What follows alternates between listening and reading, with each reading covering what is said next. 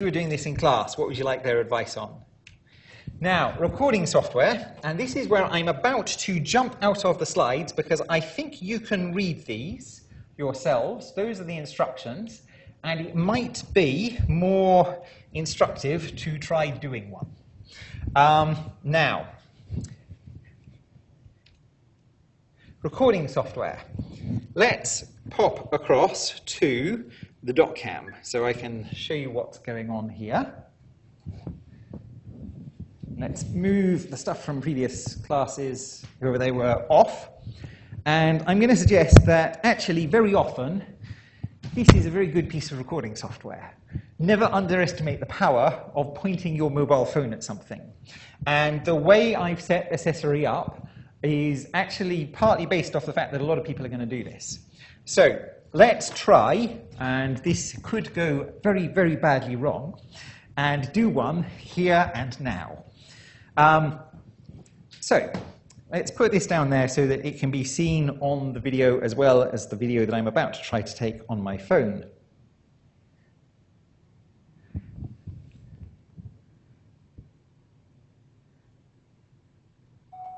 And we're recording. Okay, so for this sample video, I'm going to suggest uh, building the Weasley clock. So I don't know if you've read the Harry Potter books, but in some of the later books, Mrs. Weasley has a special clock that doesn't have the time on it, pardon me. Uh, instead, it has things like work and traveling and home and social life and mortal peril. And it has a hand for each member of the family.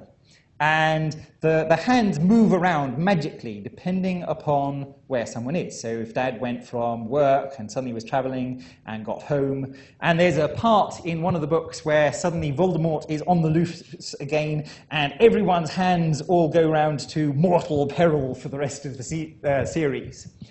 I thought it might be quite fun to build the Weasley Clock app. So, with the idea that everyone in a family would install this on their phone and it would send their location back to some um, central server so they can all see where each other uh, is.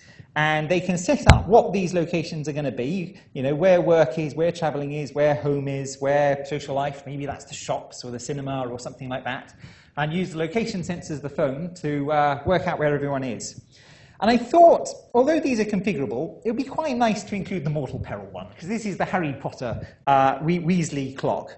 And so we, we, we, could set that up so you can configure what mortal peril is. Maybe mortal peril is the ice cream parlor or something that you, you can't resist but know that you should. Uh, or maybe it's that, uh, that, that, that, that work meeting that you really, really don't like and want, want to get away from. Um, okay, so to do this, I'm going to need to investigate families. And I'm going to need to investigate families that are interested in knowing where each other is and has uh, a mobile phone and uh, is, if you like, willing to do this. And uh, so this is probably going to be parents with a couple of teenage kids or something, because you know very young children tend to tend to uh, go around with their parents, and we, we want enough people for it to be useful uh, for the mums, uh, mums and dads. Um, now, that's about as far as I've got the concept at the moment. And one of the things I'm a bit worried about is that it might be too complicated to set all of this stuff up. I mean, if you've got to set up where work is, where traveling is, where home is before you can start using it, are people gonna, going to get bored? So I'd, I'd, I'd like some advice on how you think we should go about making this really engaging really quickly. All right, now according to this, that's 2 minutes 38 seconds, and I accidentally bumped a few phone buttons and zoomed in. But, reason for doing this on the phone. How do we get this video up there? We have a couple of options. Now, I said that Assessory was partly designed with the idea that a lot of people are going to record these things on their phone. Most people on their phone, you tap that button and you scroll down a bit. Actually, in fact, there it is, right at the top. There is a YouTube button right there. Phone videos can get big really quickly, especially if you've got an iPhone with a high definition camera. But um, almost everybody has uh, a share to YouTube button on their phone. And so let's give this a title. Uh, concept video example. and description, privacy, I can have it as unlisted because I'm going to post the link uh, somewhere that the rest of the class can see it. I can't set it private though because otherwise the people who are asked to critique it won't be able to. Now I'm going to hit upload. And so that should now be off winging its way uh, to about 62, 50, 45 seconds remaining. Can we zoom in a little bit? There it is, making its way off to Mr. Google. Um, uh, so the nice thing about that is I haven't had to worry about how am I going to shrink this video down to size. Now, if you don't want to record it on your phone, it may well be that you want to do some screen recording. Um, and so you could do the same sort of thing. And so let's just exit out of this. If you happen to have a Mac, they're really nice and they build this in. QuickTime Player, new screen recording. I'm not going to record the whole thing again, um, but I can just say click to record the full screen or drag to record part of it.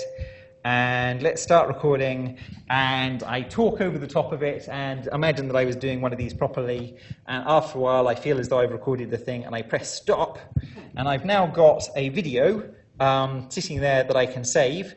And again, it might be too big. But once again, if I go, um, let's save that and let's just save it as test video on my desktop. But so I can go and I can upload that to YouTube, and very often there are, in fact, uh, export. Uh, Okay, this one at the moment, never mind. I'm forgetting which app it is, but, uh, but a lot of them will upload it to YouTube automatically. You can just go to youtube.com, drag it up there. Uh, you might want to find a way of shrinking the video down to size if you don't want your app, uh, upload to take ages and if your video has, has taken a long time. Um, there is a site called clipchamp.com that can actually shrink your, um, it can use your browser to reduce the size of uh, the video. So that is actually video compression done in JavaScript. Uh, and so if you haven't got software on there already, you can kind of just go in and try it out and upload it that way. Now, suppose you don't want to sign Mr. Google's license agreement for YouTube. You're not happy on their terms of service. Um, turns out UNE now has a if I go to Moodle Home, My Media, and this will take a little bit of a moment, I can go and upload uh, media from my computer to, if you like, UNE's own video cloud. Uh, it's not quite as convenient as YouTube because my phone doesn't have Share to Kaltura already built into it. Um, but so there is a cloud that is a UNE cloud if you are a little bit concerned about uploading things to YouTube, and you can do that. Um, the other thing that's not quite so nice about it, in a moment, we're going to need to go and paste the link in. Um, the way you do that for Kaltura is you actually have to, from this list, go right-click, copy link address. Um, because if you click on the video itself after you've uploaded it and you click share, unfortunately it will only give you the embed iframe tag, which isn't what we want. We want the URL, not the iframe tag. Uh, now, let's see if in the time that I've been whittering on, YouTube has uh, neatly uploaded my video. Concept video example.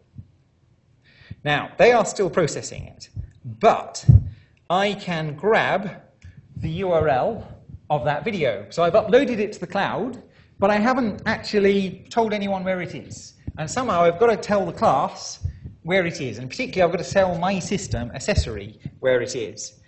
So if we go into COSC uh, 370 in Moodle now, and we have a look in assessment items, let's turn editing off so it's more like a student.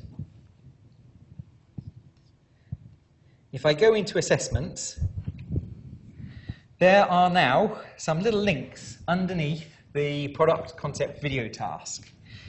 If I click that one, it will, oops, sorry, I right clicked as well. Uh, it will automatically log me in to Assessory and take me to the task where I go and paste uh, my video URL. And you'll know if you've got it right because it will replace it with a YouTube player or with a Kaltura player. Um, once I've done that, I can save that, and it'll just, it'll just save it, and I can go away and I can do other, other, other stuff with it. There is a little yes no box asking, mm, do you mind if we use your responses in this for a little bit of research investigating how students go with, um, uh, with uh, this kind of video critique uh, task? Um, please understand that you are in no way obligated to tick yes on that, and ticking no or not ticking at all will in, in no way affect your grade in the unit whatsoever. Uh, we are asking for your permission to use um, uh, your, your, data for research, but that does not mean that you have to give it to us. Um, however, the next thing that I'm going to need to do, and I'm not going to do this because otherwise my video is going to turn up for one of you to critique.